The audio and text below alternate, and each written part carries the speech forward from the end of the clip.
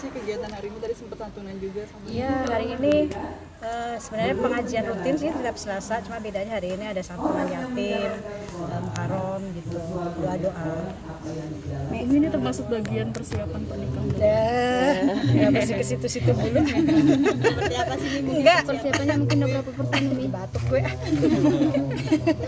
Ini enggak ini setiap Selasa. Emang kajian rutin setiap Selasa aja.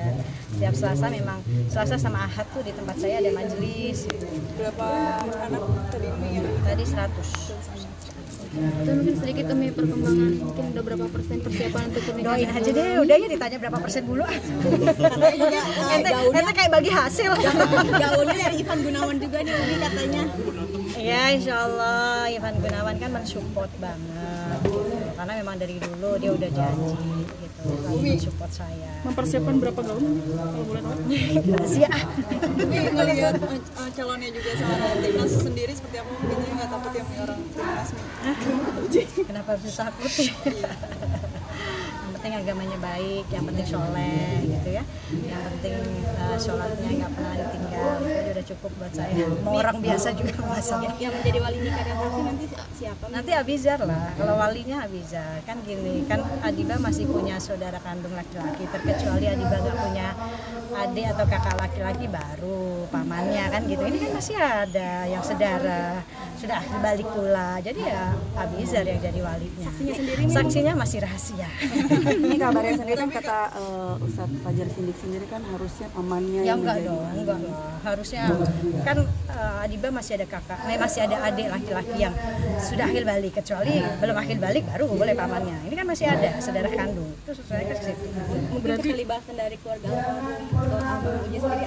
Keza pasti di, pasti dilibatkan lah kan kan sampai sekarang memang belum saya belum ngabarin siapa siapa ini aja ente aja nih pada kepo mulu kerja saya saya mulu jadi gitu rahasia lagi kan Umi katanya dipercepat Umi ya untuk Enggak, pernikahan. kok dipercepat. Memang udah udah udah planning sih, planningnya tahun ini. Cuma bulannya nggak tahu kan gitu. Jadi ternyata itu gitu. Tahun inilah pokoknya. Ini ada wejangan-wejangan nggak sih untuk Adiba sebentar lagi mau jadi istri nih sebagai ibu? Ya kalau saya pasti orang tua ya pasti mau anak saya Adiba atau Abizar yang nikah duluan pasti akan saya kasih wejangannya maksudnya lebih kepada mentalnya. Siap nggak sih kamu sebagai seorang suami misalnya yang nikah Abizar?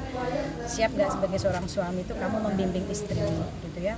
Eh, bukan hanya ngasih nafkah dunia saja bukan hanya kan menikah itu ibadah yang panjang ya. Jadi yang saya saya nasihati lebih ke mentalnya gitu. Kalaupun eh, Adiba pun juga siap nggak sebagai seorang istri gitu ya yang mendukung suami yang harus ya harus harus melayani suami dengan eh, dengan sepenuh hati gitu.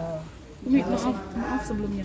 Kalau misalnya dari eh, pihak keluarga almarhum misal pamannya sendiri mau apa menawarkan diri untuk jadi walinya sendiri berkenan kalau walinya ya saya tetap Abizar lah anak saya. Kan saya masih punya anak laki-laki. Itu masih kakak eh masih adik kandungnya Adiba masih satu darah gitu. walaupun pamannya juga satu darah. Cuma karena memang masih ada Abizar ya kenapa bukan Abizar kan gitu. Dia lebih punya hak. Keterlibatan keluarga. Ya pasti. seperti apa sih Bi?